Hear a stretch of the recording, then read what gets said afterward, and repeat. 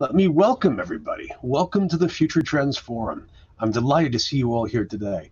We have a terrific guest uh, with a great subject, and I'm really looking forward to our conversation. Now, this week, we bring together two great, huge topics, and we do so in the person of a great scholar. For years now, we've been taking a look at information literacy in the Future Trends and digital literacy. What does it mean to be a savvy, critical, and productive consumer and user of digital content and information in the modern age? At the same time, more recently, we've been looking into what does it mean to do this in an ecological framework, specifically during the climate emergency. Now, Professor Antonio Lopez an associate professor of communications and media studies at John Cabot University in Rome, has brought these two together into what he calls eco-media literacy. This is a new project, a new way of seeing the world, and he is the inventor and the world's expert. So I'm going to bring him up on stage so he can explain what this is, how we can engage with it, and best of all, so he can answer all of your questions. So without any further ado, welcome Professor Lopez. Hi, thank you for having me. Oh, it's really great to see you. The invitation. Oh, it's a real pleasure. Where have we found you today? Well, I'm in my office in Rome. Luckily, you probably cannot hear the helicopter that's hovering over my building because today we have a new president and they shot off 21 cannons um, below this hill where every day they shoot off a cannon at noon. But today yeah. there was 21 in, in honor of the new president. So it's been quite noisy. But I think it's finally gotten quiet. Well, if so, if we hear any gunfire or uh, artillery yeah. play, or how we, will we'll know. It's just yeah. ordinary life in the great city. That's correct. Well, uh, Professor Lopez, we like to introduce people on this program by asking them to look ahead to the next year and describe what they're going to be working on. So please tell us what are what are the projects and what are the ideas that are going to be uppermost in your mind for the rest of 2022? Well, that's an excellent question, and um, I have some very interesting projects on the horizon. Uh, one is that I'm very um, pleased to be part of a collaboration with several other editors to put a, get together a book for Routledge, uh, a handbook of eco media studies, ah. which we'll get more into in a little bit. But eco media studies is uh, an emerging field that sort of combines different fields like uh, environmental humanities, and media studies um, and post-colonial studies and so forth. So this collection will be the first. Well, there's there is a book called Eco Media, which is a great collection, and one of the editors of that book is my co-editor, uh, Stephen Rust. But uh, this book uh, we're in the process of assembling. We have great chapters. I'm in the middle of editing it, so that's taking a lot of work. And then um, in the fall, I plan on teaching a class called Eco Cinema, which is one of my favorite courses to teach. Mm. And um, I'm super excited because uh, there's new scholarship coming out of Africa that's connecting many of the issues of ecological degradation in Africa with uh, with um, media studies. Huh. And we're gonna one of the films we're gonna screen is Black Panther and talk about how that mm-hmm. connects to ecology. I'm sure mm. many of you yeah. and many of you here saw that. Yeah. And I've also um, proposed uh, this is not like earth shattering, but I'm working on trying to create a minor in environmental studies at my university. And okay. one of the interesting challenges of that is like, what department do you put it in? Which this will kind of come up in terms of the yeah. siloing of knowledge and, you know, where, where does it live in the sciences, in the humanities, in the social science. So these are sort of hmm. major things that I'm working on, aside from normal writing and blogging and all that. all of that. All of that. When does uh when does the uh, new Routledge collection? When is that scheduled to? Well, the the manuscript is due in October, so it'll be in 2023. I'm, I'm so excited. I wish it could come out sooner. Oh, and the most important project that I should mention is the ecomedialiteracy.org website, which there's a link to here. Yes. And I'm in the process of raising money. I don't know if I know that uh, AMICAL is an organization that you have done some work with, and I don't know if any members of AMICAL are in this meeting, but AMICAL has given me a small grant to sort of start developing this. I'm looking for more. But the idea of ecomedialiteracy.org is to have a online resource for teachers. Uh, it could be an information literacy or, I mean, business, it could be anything, but I'm focused mo mostly on people who teach media and digital media. That they don't really, they, they're interested in the environment and they want to bring it into their classes, but they don't necessarily know how. And this website would you could go there and there could be lessons for you. There's media examples, links and so forth, also to help do for students to do research because I part of this grew out of the, what I was doing at my library at the university, which is we didn't really have a centralized location for student research on media and the environment. So I started creating this resource at the library and I split it off and started trying to create an international website that anyone can use for free, be open nice. access. And so if anyone was, is interested in contributing and collaborating, you know, please yeah. by all means get in touch. We have uh, a link to that. Uh, it should be on the bottom left of your screen, a kind of uh, mustard colored button, and you can click on that and learn a great deal. And uh, as you can beta tell, ver- just a warning, it's a beta version, but you know, it'll by the end of the year it'll look really nice. Hey, it's in WordPress, so you can do whatever you want. That's right. So please uh, uh, pounce on that, friends, and give our give our guest feedback and, and, and, use it as you can. Um, well, this, it sounds like a very, very busy year for you. And uh, I'm, I'm going to resist the temptation to recommend movies for your class this fall. And instead, ask you, uh, could you, just to begin with, for everybody who's here, can you give us a quick definition of what eco-media literacy is? Yeah, so um, people often ask this question because it's a sort of a new concept, a new term. I think I, I coined the term eco-media literacy, but I did not coin the term eco-media Mm-hmm. Uh, Sean Cubitt, who's a great scholar, wrote a book called Ecomedia in 2004. And I'd mentioned in the introduction that there's an emerging field that it's, it combines some different trends that are happening in academia that many of you probably are familiar with. So for one, there's this uh, turn in the materiality uh, in philosophy and media studies, people focusing more on the material conditions and material aspects of media, know, how mm-hmm. the, the sort of the physical characteristics and the you know the minerals and all the things that go into making that. So when you say eco media, the eco is, is part of that sort of ecological turn. Is the recognition that media um, are not separate from the environment, are they are they are from the environment, but also about the environment. So I, I, I think of it as two sides of the same coin. So on the one hand, we have to talk about it in terms of its material characteristics, and then the whole system of extraction um, and mm-hmm. disposal that happens along the commodities chain. But then mm-hmm. the discourses and the beliefs and the ideologies that circulate in global media, um, you know, through websites, popular culture, and so forth. So that that's mm-hmm. how we think about eco media. But then um, eco media literacy is essentially taking that perspective, that critical framework, and then applying it uh, to the teaching of media. And my background is in media literacy. That's where I come out of. So this whole framework actually evolved out of a certain frustration I was experiencing. For I've been in media literacy for almost 22 years now. When I first started, there was very little about the environment, and I also did a lot of work in Native American communities and uh, in the early 2000s. Mm-hmm. And I just felt like there was a disconnection between what I was doing in these communities and what the media literacy movement was doing. So um, in my PhD work, which you're very familiar with because you were on my PhD committee, I disclose full disclosure. I developed this as a response to that, and I part of that was I try to understand why is there no discussion about these issues or very little. I mean, I, I don't say it was zero. It was little, it was here in bits and pieces. I Try to understand what the barriers and opportunities are in the field of media literacy education and I think part of it was this sort of historical belief or uh, um, something we inherited in the sort of I think the I would say the ideology of modernity. Mm-hmm. This idea that um, ideas are sort of belong to the ethers, you know, that, mm-hmm. that, mm-hmm. thing, and, and, media belongs to the realm of, of thoughts, and you know, so you know, we're also a very visual culture, so we focus on on visual mm-hmm. characteristics and ideas and mm-hmm. textual analysis, and we never think about the, the physicality of, of the or the materiality of the media. No, even with books, we don't think about you know how are books made or photography or any of these things. Yeah. So um, that bias, I think, in in the Western philosophical tradition and in academia, was one of the reasons why it had a strong that had a strong influence on media literacy education. So people didn't really think about that.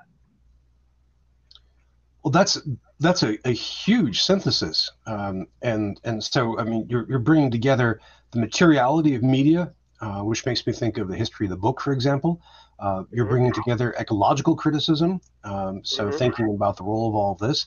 But then through literacy, uh, you you make this general, so that uh, I'm, I'm if, if I'm right by by phrasing this in terms of literacy, in terms of skills and attitudes, that means that everybody uh, can conceivably approach media through this lens. We could think about a printed book, or we could think about a computer game, or we could think about um, a print magazine that we get, or a Netflix show, and start thinking about how well its environmental impact, its participation in the in the participation in its impact in the entire world. Yeah. So the um, the, the traditional literacies apply. There's something weird going with the audio. Can you can you hear me? I can hear you just fine.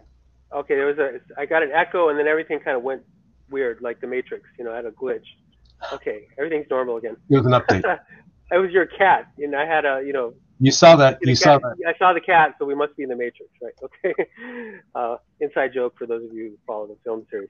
Anyways, um, uh, yeah. So one of the things I talk about in my book, I, I, I, have a book out now called Eco-Media Literacy, which sort of the most updated thinking, although I'm even moving past that at this point because I wrote it last year, um, is that it doesn't take much to, to tweak what we're already doing. It's just expanding just a, a little, to go a little bit more and also sort of bring in some of the, the, the fields that sometimes are separate. So for example, uh, I'm very much interested in media ecology, although mm-hmm. I think that's a big misnomer. But you know, that's the mm-hmm. the field of study that's interested in medium characteristics and media property.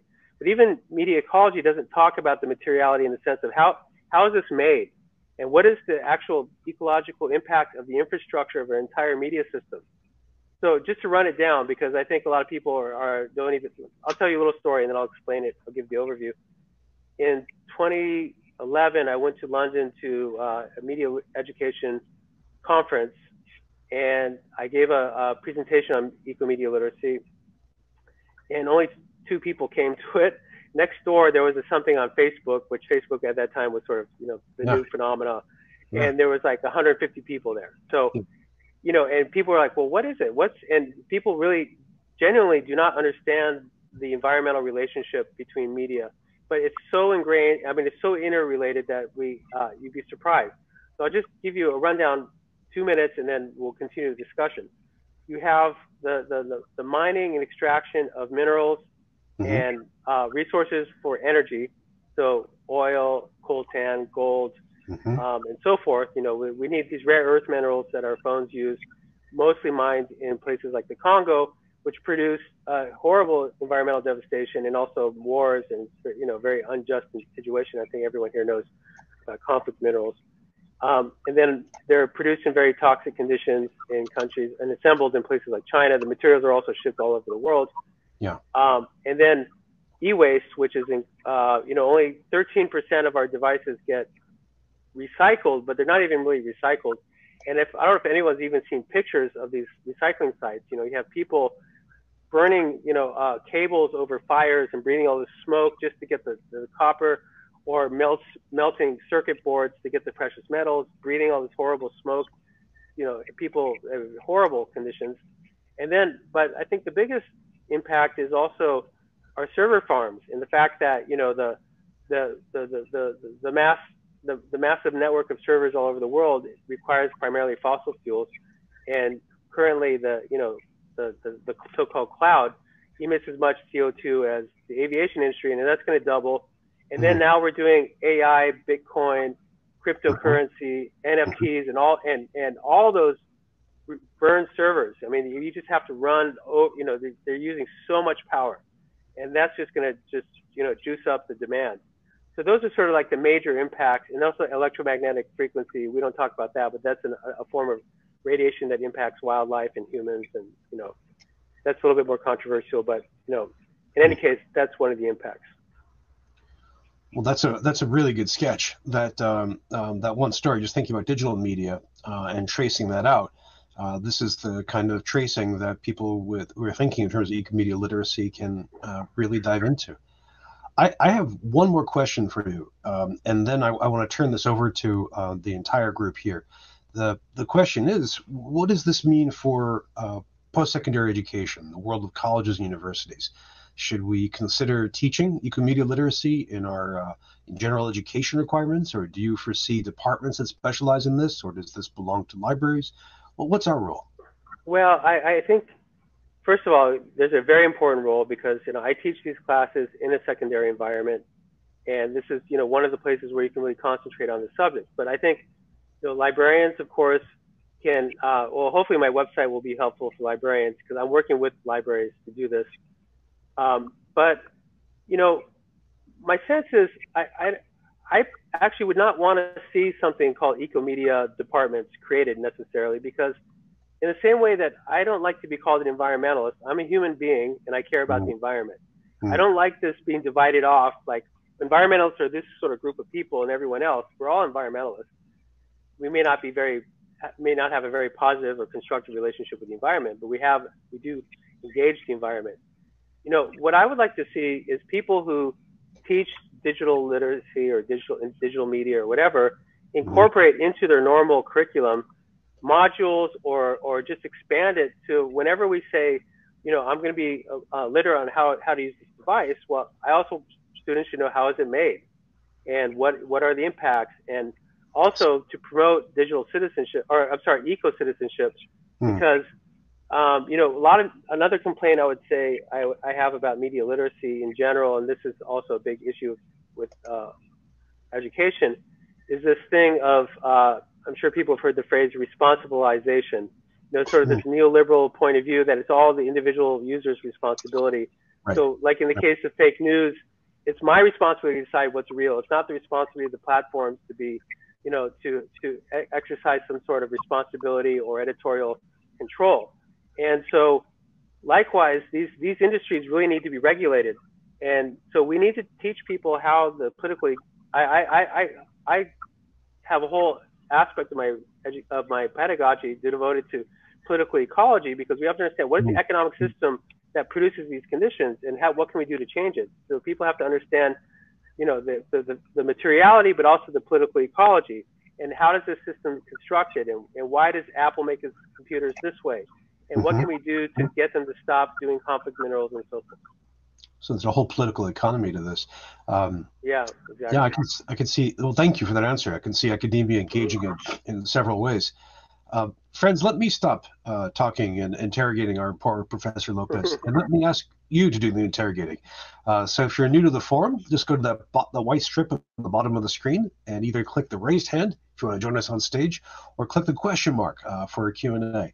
And already we have one from our uh, Quebecois colleague, Mathieu Plourde, uh, who asks, considering that there is a second-hand market for physical media, books, CDs, and vinyl, how can we encourage the process for digital devices?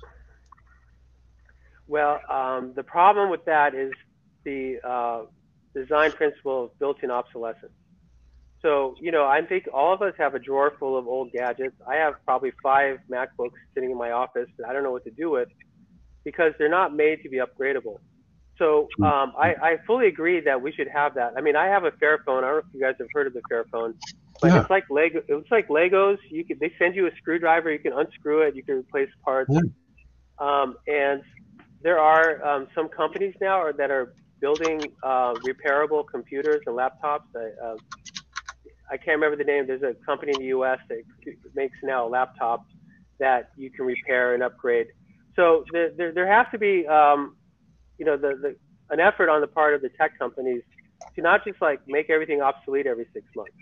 Because, you know, I mean, if you want to be like a full on geek and, and sort of recreate an old, you know, um, Commodore 64, you know, great, you know, that's fine, but not all of us have the time to do that and, and can tinker and do all that, those kind of things. So they have to make it easier for us to be able to fix and repair things. So that I think that would be a very important step. Well, that's great. Um, so uh, again, uh, Mathieu, thank you for the for the, for the good question. And uh, uh Professor Lopez, how much does the uh, Fairphone cost these days? Uh, there's different models. I think like the I have the Fairphone. I think this is the four. Yeah. It costs about 400 euros, but mm, um, when I, I, this is my second one. When I returned my old one, they gave me 40 euros credit. They also sent me a return label so that I could just put it in a box and send it to the post office to um, the Netherlands where they recycled everything. And they even took all my other old phones and, you know, it's quite really nice. Oh, that's terrific. Thank you. I remember Yeah. when this launched, and I was really intrigued by it, and uh, I've, I've I've lost track, but uh, but this sounds uh, this sounds really really good. Um, Also, one, one, one other thing I would add is that you know there is a push. There's a couple of things that governments could do. One is that they should they could force tech companies to make a three-year guarantee on their products. Um, and another one is they could do this thing like a take-back program, so that they're forced to take back their e-waste. And if they did that, they would be more responsible to like if so if something I think there's even a law in Italy. So if, if it's actually made in Italy, they have to take it back and they have to process it and do something like that. So that you know there there should be laws um, instituted that force the industry to behave like this because otherwise I don't know if they will. uh, in the chat, uh, people have chimed in. Uh, Roxann shared the homepage for it. Uh, Mathieu seconds the right to repair movement. Mhm, small yeah, companies, I don't want that to happen. Um, and um John Zinn points out that uh, he's stuck with uh, 3G technology in his uh, almost decade-old car, and there's no way to upgrade it. Um, but it should be a simple chip replacement. But basically, he has Exactly. to buy a new car for it. Yeah, Um, exactly. Well, um, let me um, let me just again throw this uh, throw the floor open uh, for more questions and comments. You've you've clearly struck a nerve with our with our community. Uh, and here's one that comes from Charles Findlay at uh, Northeastern University, who come a question that goes right to my heart here. Um, he asks, what, uh, "What is the balance for us here in the forum? Do we shut down the forum, or continue the discussion about the impact on the environment?" Well, that's a great question, and people often ask this. And my sense is that we, we have to use what's available. So we have to take advantage of the fact that we can connect. Mhm. And, you know, I think if we just, um, let, let me bring up the issue of Ludditism because there's sort of a misunderstanding. I'm sure everyone's heard the term Luddite uh, or neo Luddite. And, you know, quite often when you criticize technology, uh, one of the one of the flack or the feedback you can get people like, oh, you're just a Luddite, you want to go back to, you know, primitive times. And I think people misunderstand what the Luddites were. They were not anti-technology. What they were against was their lives being taken over and destroyed by technology. You know, so if I think we have to use what we have to, to improve our lives and to improve what we're doing, um, and, and to also, you know, to push back as much as possible. And I think we just have to take advantage of the fact that we're able to meet and to discuss this and try to find a way and try to find solutions. If we all just abandon these technologies, we wouldn't be able to do that. So I think we're, we have better chance of changing things if we leverage what has already been produced Hmm. than to just reject it all outright. Uh, it's a very practical attitude. Um, Charlie, Mhm. thank you for the question, which um, was lurking in my own heart. Um, and thank you for that very practical, uh, pragmatic response, uh, Professor Lopez. We have Mhm. um, uh, in the in the chat, uh, Jordan uh, Davis, a student of mine, mentions that uh, we discussed uh, the Luddite movement in uh, our class this fall. In fact, we played a role-playing game uh, on the Luddite Rebellion in Manchester, uh, and Jordan was a terrific player. Um, so, but uh, let, let me uh, invite everybody else to uh, to pose But more actually, questions. Can I just say one thing um, Yes. about role playing? Uh, you know, Yes. so one of the one of the areas, one of the sort of places that I'm bridging into is education for sustainability, which doesn't do much on media. So one, I'm kind of in this weird netherworld because the, the environmental education people don't talk about media, and the media education people don't talk about the environment. Ah, But um, you know, a lot of environmental education people uh, value role playing and games as a very valuable tool to teach. And I have a colleague; she's a media literacy educator, uh, Teresa Redmond. I don't know if she's here, probably not, but um, she does a, a role play in her class where the students have to negotiate, like uh, they have to imagine what a fair production system would look like, and then role play how, Mm. how that how to put that into existence. that that is very very constructive. I would I would Mhm. love to see that. If you can if you can share any information about that, I would love to see that. Sure. Yeah, I don't have the lessons, but I would. That would be something I would put on my website, on the Ecomedia Literacy website. Uh, you you said that was Teresa Redmond. Yeah. Uh, in the chat, uh, Joyce Ogburn says she knows uh, Teresa Redmond at Appalachian State University. Yeah, that's her. That's her. Yep. Joyce, you have to introduce us. Um, that would be great. Joyce is a, is a marvelous person, a, uh scholar Hi, and a librarian um, at uh, recently at uh, Appalachian State. Mm, Uh, great. Yeah. Um, and so we have a couple of, of, raised hands. Let me just bring people up. And speaking of which, uh, let me see if Joyce is up. Joyce, we need your camera on. Can we? Can you? Uh, can you activate that, or are you only on audio? I'm trying to activate it. Hang on. Okay. I haven't, it looks like Shindig's changed a little since last time I was here. Well, um, you, you can just I'll just, I'll just, talk to you. Yeah, um, um, I used to work at App State, and Teresa and I have done some projects together. I was the library dean and other things there, and she she's a very creative educator and very inquisitive about all of these areas. Um, and so, yeah, Ryan, I'll definitely try to introduce you, and um, might be a good forum guest to talk about whatever's yeah. been going on in, um, in, in the education area and to supplement what uh, Antonio's been talking about, which has been marvelous. Thank you.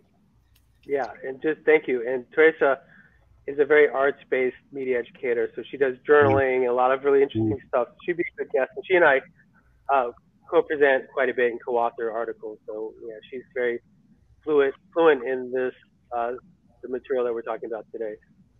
Oh, very nice. Thank you, Joyce. Thank you very much. Uh, if you're uh, if you're new to the forum, by the way, those are examples of both the text question and the video question, um, and so you you can just use either of those to uh, to share your thoughts. Um, in fact, uh, Plowman uh, Mittenhoff has a, a, comment. With the raging layoffs of faculty humanities disciplines um, at his campus, the Department of Faculty, I'm curious how STEM faculty can be convinced to introduce such ideas as eco-media literacy in their curricula, if the humanities in general have been shunned. So, and a lot of this does feel humanities oriented with a bit of the social sciences. Uh, what's the what's the role of STEM faculty in STEM departments? Well, um, I think there's an important role, and if you explore a bit about environmental humanities, they're mm-hmm. um, very much in collaboration with STEM. And um, I, I, think that, you know, uh, I, I, have a class I'm teaching now called Media and the Environment. And today I was doing an introduction to eco criticism. And eco criticism has sort of three legs, if you could say. Uh, one is mm-hmm. sort of the, the, critic, critic, the critique of, of rhetoric that comes out of literature studies and, and, and humanities. Um, and then the other leg is science. You know that you have you're based in a scientific analysis and understanding of environmental systems, and the third one is political activism. That uh, it's sort of a starting point that um, it's, it's, you're not neutral. So this is not a neutral field to be in. Uh, for example, environmental communication is, is a field that sort of came out of science communication uh, in the mm-hmm. in the mm-hmm. early aughts, where mm-hmm. scientists were trying to like scientists are not, as you probably know, not the best communicators about like trying to talk to the general public about their particular field. So environmental communication sort of combines elements of media studies, journalism studies, and science communication. Now it's a full-blown field unto itself. Yeah. And um, and so they're they're very much sort of kind of in that bridge, but they they also self-identify as what they call themselves a crisis discipline. You know, they, they the starting mm-hmm. point is that this is a crisis, and we are we are designing our research and our curriculum to solve these these problems. But you know, I, I think it is uh, a challenge what is happening institutionally in terms of how universities are sort of changing their curriculum. But I, I think, you know, I, I don't. Inter- my university doesn't really have a STEM program, so I don't interact so much with people, at least in my in my area. But I think that there's a hunger to to collaborate because um, one of the things that environmental humanities talks about is how important it is for science to be communicated and to be um, expressed through sort of creative means. And I think one way maybe to bridge these topics is like the, the um, digital humanities can yeah. can be very much. There, I think there could be an environmental digital humanities mm. where you're sort of taking these tools of digital humanities, but also you know translating data, translating information into graphics, into you know, mm-hmm. uh, ways of understanding the world and so that I think that that is something that we could look forward to. Oh, terrific! Um, and uh, a very very good. Uh, you bring together so much, so many different strands of, of thinking. Um, uh, I'm I'm I'm very very impressed by this. Uh, we have another uh, video question that's coming up from our long-term uh, wonderful friend Roxann Riskin. Let's bring Roxann up on stage. And in fact, uh, in honor of Roxann, I'm going to I'm going to give us the dramatic close-up display. Check this. out. Hello, I am so happy to be here, Bryan. I'm so happy to see you. Um, it's great to see you. Thank you for taking my question, Antonio. It has to do with um, instructional designers and learning experience designers who are pretty um, adept at using media and technology tools. And what is the implication for us as designers on how we pick certain technologies to use because right now we're on Zoom, which is consuming bandwidth, and we mm-hmm. with our microphones, we have these physical devices that that may have um, come from countries, um, China, Africa, and things that mine these very important resources in a very unethical and very inhumane way. And I also want to compliment that you used mindfulness and used a Buddhist reference in one of your webinars because I'm a mm-hmm. mindfulness educator and I thought that was mm-hmm. really powerful and it really impacted me to continue to um, use these things you mentioned that you used it as an example in K through 12 education. You held up a piece of paper and one of your mm-hmm. examples. I remember that one was excellent. And also, can you talk um, briefly about the lithium ions, uh, the lithium ion farms that we have exploding all over the world, and and are the intention that we should have to bring um, our awareness to what's happening with these self-driving cars and the newer technologies. Um, you mentioned Bitcoin and cryptocurrencies and things like that, but can you talk a little bit about those car, um, the ion car, the um, cars, and how we can how I think there's a new type of technology right now being developed to replace that lithium ion. Mm, you mean the batteries? Yes. Thank you. Thank you. Thanks. Thank you. Okay. Thank you. Yeah. So uh, I think there's three questions here. Um, the first one, the first one, I think, is uh, actually easy to resolve. Um, you mentioned like uh, the paper exercise that I do, which is you know the uh, from Buddhism, which is like the, the, the teacher would ask, do you see the clouds in the paper? And usually people will say, well, clouds are white, the paper is white. So, but the answer is that the paper is organic matter and the paper is part of the clouds because the clouds produce the rain, which grows with the plants or the trees that make the paper. And then I do that with the phone. I say, you know, do you see the clouds in the phone? So I, I think that you, you know, with your instructional technologies, deconstruct the technology you're teaching with you know, use that as the tool and have the students like, well, where, how are we able to have this conversation physically? Like, what's the, what is the materiality? What are the systems that are enable us to have this? Another question you can ask, because uh, I'm now, I've been focusing more lately in my interest in understanding the history of energy. By the way, there's a energy humanities, which is fascinating, which is about the cultural aspects of energy and uh, energy development. And you know, we live in a fossil fuel culture, and I, I asked the students, name everything in this room that uh, was made possible because of fossil fuels. You know, and just like go through that. So, so there's that. Now, the second, the thing about mindfulness. So, in I, I use this circular diagram where so the kind of analysis I do is of media, what I call media objects, and there's the cultural aspects, there's the political ecology, there's the eco materiality, and then there's mm. the life world. The life world is the mm. physiological impact of our devices on us. And we, we, we are an environment. Our brain, our cognition is part of an environment, so we have to be aware of that. And so I explore that in different ways. One is the fact that all media starts as nerve stimulus. Sound and light are physical; they touch us. Our, our, our brains are responding to actually being stimulated, and that these things stimulate us and they get us addicted. They're designed by I think everyone here probably knows this that you know people who design slot machines design these phones, and they use the same techniques to keep us addicted and to stimulate our endorphins and all that. That's why we keep checking our phones. And so mindfulness is an important tool to um, to be aware of how you know of our addiction, but also our cognitive responses to things. To be also environmental educators are very concerned about our sense of place and space, and to think about you know, how much do our devices remove us from our local environment and how can we bring the local environment back into um, our awareness? And then the last issue about lithium is that yeah, we can't have a clean economy and replace the current economy with a clean economy and still practice neocolonialism. I mean, we you know the the, the lithium that they need for all these it's a massive uh, extraction haul that they're going to have to do. Uh, a lot of these minerals are coming out of uh, the Andes in Chile and Argentina and Bolivia.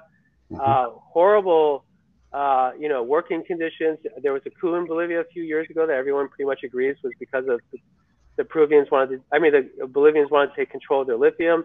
Uh, even Elon Musk said, we'll coup where we want in Twitter, you know, which is kind of a weird cell phone. I don't know why he would like to admit that, but I'm not saying there's a conspiracy. Elon Musk engineered a coup in Bolivia, but the interest, you know, like putting in right wing military dictatorships in countries where the resources they need for these devices um, is convenient. And if those of you saw Don't Look Up, you might recall that they divert, I'm sorry, spoiler alert, plug your ears for a second.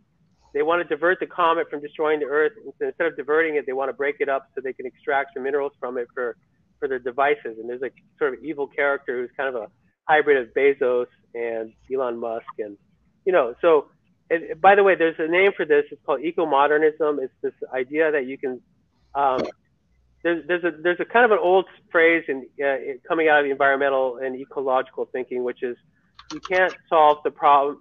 You can't solve a problem with the same thinking that created the problem. So a lot of these eco-modernists, like Bill Gates, and I, I think this might ruffle some feathers. I don't know, but eco-modernists um, want to solve the problems that were created by technology with technology. So we have to have a different kind of thinking. We can't just replace one colonialism with another colonialism. And so if, if they're inventing new technologies that don't require lithium, I, I, I hear every once in a while, you know, there's water batteries, there's this and that. I'm sure we'll come up with something at some point. But under the current systems, lithium is, is what we use. And so that's going to have a huge impact on the environment. Hopefully, we can find a better way. Excuse me. Um, and I just want to point out that I'm wearing blue in favor of Tom's blue room. Uh, Bryan, this is thank you, thank you. Our, it's you participants in the forum that might get that. Sorry if, if I didn't include you in that, but there's one participant that oh has this awesome blue room. That's great, Roxann. Thank you. What a great thank question. You so much. Thank, thank you. you for your great question. Thank, thank you so much, Antonio. Mm-hmm. Yeah. Uh, Thank you for that answer. Uh, you're really covering a lot of ground. Um, and, I have to be an integrative thinker with this kind of material. you really are. I, have been I've been tweeting out the different concepts you've been mentioning so far, and this is really a grand synthesis, which is uh, mm-hmm. uh, which is very very important. Uh, or to put another way, it's a way in to a lot of these mm-hmm. different issues. Um, I, I, have more questions, but better yet, people in the forum have more questions. So here's one from Jorge at uh, George Washington. Uh, sorry, at my colleague at Georgetown. Uh, and he says, Thank you for introducing Antonio. He synthesizes two of long interests. I would like to ask about a third related space international and intercultural education in light of his ecomedia perspective. Hmm, good question. Yeah, so um, this is difficult to uh, to simplify, but let me put it this way. Part of the uh, important influence that I had from working in Native American communities and one of the things that helped me understand that you know Western thinking um, is is just one way of seeing the world. And you know, we in academia and in uh, sort of our intellectual environment have a certain kind of scientific tradition that we are a part of. And there's a lot of new um, material coming out of, uh, in particular, South America about cosmologies that mm. are recognized that you know everything is alive. You know, when I worked in Native communities, Native American communities, and I was doing video work, grassroots video work with, with youth, um, you know, the elders would say, "Don't point the camera at that rock," and I, and that didn't make sense to me as sort of a westernized, you know, individual. Mm-hmm. Uh, but it's because the rock is sacred, and you can't film it. You can't objectify it with with media. You have to respect it for what it is, because the rock has its own needs and its own perspective. And this is not something that we would accept in our in our our reality, but in a Native American uh, cosmology, and I don't want to generalize because all, all Native communities are, are diverse and have different languages, et cetera, et cetera. But um, there's sort of like uh, a, a, different worldview in which the everything is alive, which we don't have in the in our Western epistemology. So one of the things that I'm exploring a bit more that I'm interested in is the concept of epistemological enclosure. The fact that we hmm. sort of, in our Western scientific tradition, have excluded these worldviews. And, you know, native uh, indigenous people occupy 80% of the biodiversity on Earth. And it's they're the ones who are going to uh, save us in the sense that they're preserving the knowledge we need to, to survive this uh, environmental crisis. And we have to be open to the cosmology of, of different worldviews. And we can't just say that the Western idea of, you know, like the uh, immaterial uh, instrumental use of the earth is the only way that maybe the earth has, you know, that, that the forest and the animals and everything have uh, are entities that deserve rights and things like that. And I think we have to shift our, our worldview. And as Westerners, it's kind of hard for us to accept that. But I'll, I'll just give one quick example. When I was in graduate school and I started taking some anthropology classes, there was a, um, a pretty famous anthropologist that I took a class from telling a story of how this he was in Central America and there was this uh, Mayan individual talking about that he'd been he was talking to a bird and the professor said and we all know that no one can talk to birds. And i say wait wait a second. How do you know that? Have you ever tried? Have you ever talked to a bird? You can't say that you can't. And i know lots of people who could talk to animals. So that that sort of kind of arrogance like well of course you can't talk to, mm. to birds is sort of a, a, rejection and, and and an example of this sort of epistemological enclosure mm. where he's mm. he's outright assuming from his worldview that the worldview of that person uh, is not possible. And I think some of you might even know about this idea of the weird. Have you heard of this? Um, this is great. So I, I, will share this with you. This is really very much aligned with the intercultural communications Please. piece.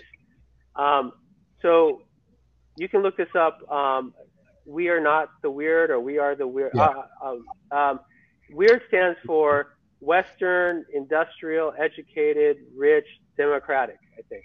Yeah. And so there was this uh, a, psycho- a graduate psychology uh, student in South America. I'm not sure what country it was. I think it was in uh, Bolivia or Peru. And I guess there's a standard uh, game that they play as part of their psychological evaluation or uh, to do their research. And there's a certain way that people are supposed to respond. It's a, you know something along the lines of the prisoner's dilemma. I don't I don't think it was that exactly, but something like that. And these, this community was just was not doing responding the way that they were supposed to according to the matrix or the, the, the rubric or whatever. And so he thought oh maybe i'm doing it wrong. I'll do it again. And he tried and same thing happened. And then he thought well maybe it's just this community. So he went to this other community in the area. Same thing happened. And something kind of clicked in his mind it's like maybe the experiment is wrong and mm-hmm. so he and some and some other graduate students had this brilliant idea to study like they, they look at the last 20 or 30 years of psychological research and they want to understand who have been the subjects of this research. And guess what? The, the, the, typical subject of a psychological study is a college student at a university in a Western right. world, right. because that's who you have access to. So it turned out like 90 or 90, very high number of these studies, 90% the research subjects were, were Western subjects um, and, and, and belonging to universities that, and they were from the Western world, and it's a very skewed sample, even though, but that all these psychological theories were based on that, and so you know the conclusion was it's like you you study penguins to understand parrots. It's like you you you cannot generalize about other cultures and other societies if all your research subjects are a very narrow sample. So I encourage people to read. There's a Pacific Standard has a great article about the sort of overview of the research. It's very fascinating. Um, so I've been very interested in that because I experienced that firsthand working in Native American communities. And also the other thing uh, related to media literacy is that so much media literacy is so individualized. It's about developing individual, like social, I'm sorry, uh, constructionism, you know, the typical, uh, the, the, the, education philosophy is about the individual constructing their own knowledge. Mm-hmm. Um, and Native communities, it doesn't work because they don't have, they're, they're communal societies and also a lot of Asian societies are very similar. So you know, it's like, um, for example, you've heard the Japanese phrase, you know, the, the nail that sticks up gets hammered down. And what I learned from working with Native students, you talk to them, and they're listening and they're they're involved, but you ask a question and no one answers. It's not because they don't know the answer, but They don't want to speak the answer because they don't want to embarrass someone else that mm-hmm. might not know the answer. Mm-hmm. That's a different sort of cultural reality. It's, it's, it's communal knowledge. You can't have an individual. No one person can know, know the one thing. Everyone has to know it together. We even have this problem, problem in Italy over cheating because in, yeah. in, in, in, Italian students um, share their the answers to the exams because they think it's their their responsibility as as community members. If they know the correct answer, they should share it with other people. And Americans are all based on merit and individualism, and so we have this uh, constant conflict in our classes between Italians and Americans because Italian Americans think Italians are cheating and Italians just think they're being generous. So uh, there's there's there's a there's a lot there. Uh, uh, Plum and Miltonoff uh, mentioned in the chat. On my way to this event, I was listening to a podcast on ants. They don't have brains, but they can do things as a collective that we humans cannot do. Mm-hmm. Interesting, very interesting. Yeah. Uh, have, have, you read uh, Amitav Ghosh's new book, uh, The Nutmeg's Curse? No, but I heard an interview with him about it, and it was amazing. But that I think the way that um, he talks about the nutmeg tree is exactly how media eco media literacy works. He takes you know that that the nutmeg as as sort of follows the whole history of that and how it fits into the history of the culture of Indonesia, but also the history of colonialism. I mean, yes. I haven't read the book. I'm just going off the interview. Um, and that kind of that's the kind of integrative thinking that we need to do with our our technologies. Well, that's that's quite right, and and he ends with a passionate call for a kind of animism or vitalism uh, that mm-hmm, we mm-hmm. make sure that we give uh, nature and the, the non-human world uh, voices and to listen to it. D- yeah, does that mean, is eco media literacy a, a, decolonizing literacy? Yeah, absolutely. Um, in fact, yeah, I have a whole chapter in my book about that, and I, I do I have a very lengthy discussion about the Anthropocene as a colonial concept because mm-hmm. the Anthropocene has comes out of geology, and geology is a, I, I'm oversimplifying. I, I'm not saying all geologists uh, do this, but geology is a is a, a child or a, um, a product of colonialism in certain respects because it was the geologists that were evaluating and determining the value of, of minerals for the process of extraction, and you know the whole science was sort of we could say in parallel at least with with colonialism and then it's, geolo- it's the geologists that came up with the concept of the Anthropocene. And the critique of that, the, the sort of post-colonial or decolonial critique of the Anthropocene is that the, the Anthropocene kind of argues that humans will be humans. That you know what's going on to the Earth is because humans just this is what humans do. And people say, no, wait a second. It's, it's a very small percentage of the population that's doing this. Not only that, it's a system that's doing this.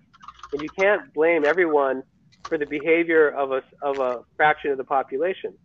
And in fact, uh, the eco justice, which is very much concerned with um, like a just transition to future energy, this goes back to the issue of, of lithium, argues that you, um, when you're trying to solve environmental problems, you can't treat everyone the same way. You have to, you know, you have to first of all identify who are the main polluters, who are the main, who are the people that are really causing this problem, and they're the ones who really have to pay for it, and they're the ones that need to like uh, uh, to take responsibility. You can't, you know, the people who are getting flooded out in Bangladesh are not the ones who, you know, who who are, who are causing the, the the the rise in the seas.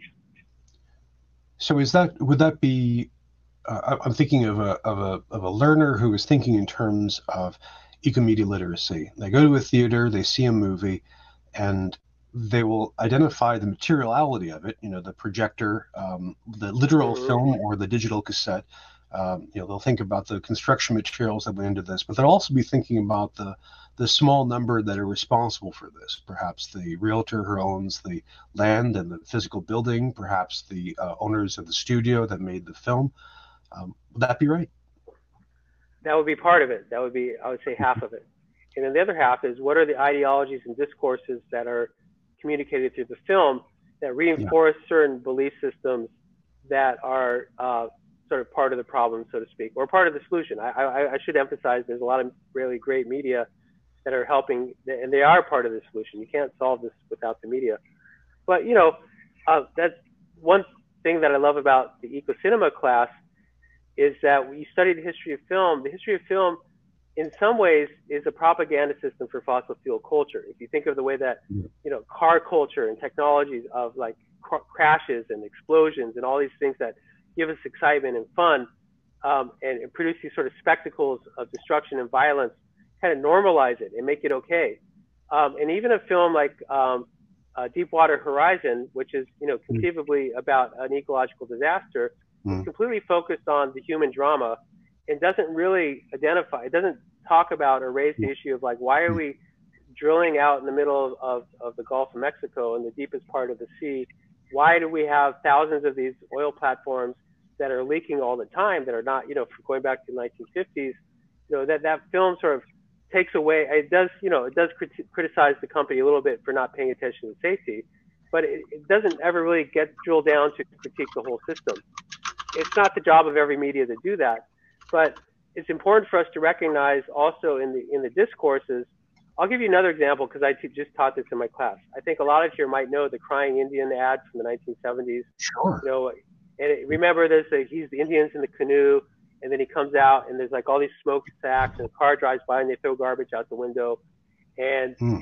and then he's he he there's a tear in his eye and it says, people yeah. cause pollution and people can stop pollution. And on the surface, that seems like, wow, that's a powerful environmental message. But in fact, that was produced by the plastics industry to take away the, uh, to, to, stop the critique of, of, of industry from the environmentalists and to blame individuals. It's, it's the individual's fault for doing that. It's not the industry. It's not the industry that is doing it. And not only that, then it also sort of uses it reinforces this idea that only Native Americans are ecological and everyone else is not ecological. Right. I, I, I want to move away from that. We're all ecological. Uh, um, uh. It happens that you know native, uh, indigenous people are historically more closely associated with ecology, but not there's a lot of indigenous people who destroy the environment as well. So we don't want to stereotype. But I would certainly say that the worldview of most indigenous people is more conducive and more aware and more sensitive to uh, healing and taking care I mean, the, the, Red Nation. I don't know if anyone here has heard of the Red Deal. I know we're almost out of time, but I'll yeah. try to be fast here. Um, the Red Deal is a critique of the Green New Deal from a Native point, of, Native American point of view, and it's, it's sort of a, kind of a, a, radical critique. It's quite good. It's a short book. I recommend it. Huh. And they, they, what they what they talk about is that we have, and this goes back to ecomedia literacy. One of the things that e- comes out of ecomedia studies is to think of media as an infrastructure don't think of it as just a film or a TV show or a newspaper article, but it's a, an entire infrastructure. So one sort of emerging definition of media is that media are infrastructures of communication, something like that. So they talk about like our that we use the phrase critical infrastructure quite a bit. You hear it like in, in policy debates, like a Build Back Better bill, things like that. Critical mm-hmm. infrastructure often ha- is related to pipelines and you know the sort of things that make our society run and they say like, well, rather than a, a critical infrastructure, we need an infrastructure of relations. So the so the critical infrastructure is based on sort of greed and destruction. Like that's the that's the fundamental ethic of that kind of a system. Whereas a fun, uh, uh, a infrastructure of relations is based on care and being in a good relation and be or being a good relative. And being a good relative means being a good relative to the more than human world, to each other, but also to the future intergenerational justice, you know, to future generations, that we leave the place in uh, for the future the way that we, you know, we benefited from it. We have to make sure other people in the future can do that. So it's a different mode of thought. Um, it's it's a, a completely different ethical system that we're not, you know, it's not what we're a part of. We have to transition into that kind of way of thinking. Uh, speaking of transition, um, uh, I, I, have time for one quick quick question for you. Uh, and thank you. This is this is a torrent of ideas, and I've, I've been tweeting some of this uh, and putting some in the chat. Well, what does a, a given university or college look like if they embrace uh, ecomedia literacy and and do that for say 10 years? How does that campus? Uh, how is it different? Wow, uh, you know, honestly, I had not put that into. I haven't thought that through. But if I was going to first of all, I would develop, I would change the curriculum so that you're not, um, you're not having all these different silos. That mm. everything, uh, you know, that you would have a lot more interdisciplinarity, and that the science and the humanities would be more um, uh, sort of integrated, I would also have mindfulness. You know, that should be a part of it. Mm. Um, but you know, I I think I would structure the curriculum. I mean, if I think about what I want my students to be able to do, I, I'm teaching a class right now. I have a bunch of visiting students. By the way, uh, I, I you mentioned someone from Northeastern. We have students from Northeastern that do like we get about 150 of them every, in the fall. Um, Nice. We we um, so I have students that are actually environmental studies majors in my class. We don't have it at my university, but they're from their university, and it's great because when I introduce an idea, they're like there, they're on it, they get it. They they they they're the environmental studies, as I mentioned at the beginning of, of our presentation, is you know in the science, it's in the humanities, in the social science, and when when you have someone that's equally balanced in those, these ideas move much more fluidly. So Mhm. these students, like they're my now they're my research assistants because they get it. You know, they're just on it. They just know, and it's amazing. It's so great. But the students that are, are just sort of stuck only in the humanities or in the social science, they're, they're they don't have that integrative thinking. So I would Hmm. definitely balance the curriculum much more. Also, I would move away from this paradigm that everything has to be about business and marketing. I just you know Mhm. that's driving me nuts. And and to teach more about eco citizenship and, and to help students. I mean, you know, I think this is a big problem for media literacy, and I'll just leave every, everyone with this. If you work in digital literacy or eco or, or media literacy, is to it's important for individuals to be able to read and deconstruct a text. I'm, I'm not denying that skill. You know, information literacy on that level is absolutely important. But we can't just do that. It's not just up to the individual. We have to teach people how these systems work, and we have to teach them to be active eco citizens, put so they can change the laws or put pressure on the companies to stop behaving the way that they behave because they're not going to change unless we we change them. So I just think that the, the the literacy that we're lacking is the literacy of the materiality, but also the political literacy of how do you change the system. What a great vision to uh, to conclude on, uh, Professor Lopez. This is an astonishing work that you're doing. Um, you you sound like a, a one person army. Um, a couple of people- I need help. Please help me. well, I, I, I can't I do it by myself. I, I always ask guests uh, how we can keep up with you, and uh, I, I think your ecomedia literacy website is one way. Um, Mhm. And uh, we've been tweeting at you, so that might be another Mhm. way. That would be nice. I, I'm sure when I go to Twitter, I'll have a bunch of notices. Yeah, I mean, um, I, I post updates on Twitter, um, and I think you know at a certain point uh, when I, I what I what I'm going to need in the coming year is I'm applying for a grant to uh, I need to program a little module in this WordPress site to Mm. create a forum so people can, can create lessons. And what I need people to do is to create lessons and test the system, and then also to to go to Ecomedia Literacy and really, I would like you to go with your Zen mind or your child mind, whatever you want to call it, Mhm. and just say like, okay, this is what I, I need. There's something I want, and does this website have it? And you go and you can't find it. You need, you should tell me about the design of it, the wordings, if you know if it's confusing.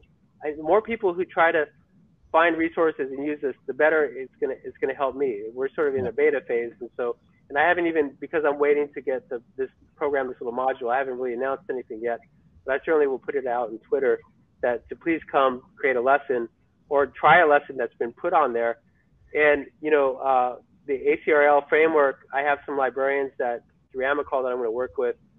I really want to see. Uh, I think you can green ACRL very easily.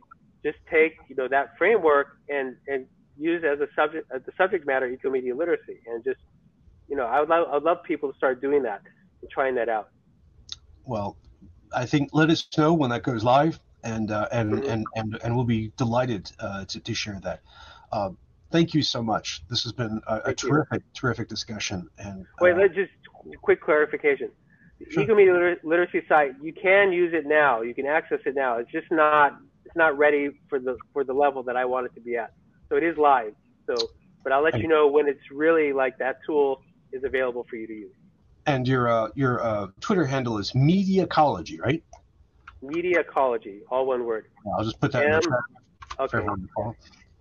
Um, M E D I O L O G Y. it's it's in the chat now.